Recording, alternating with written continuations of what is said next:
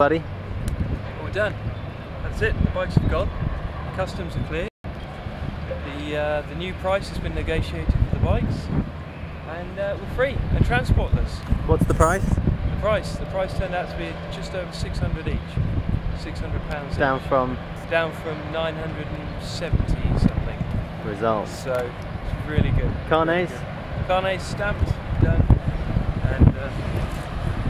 Carnets stamped, done. Customs didn't want to inspect the bikes, not bothered.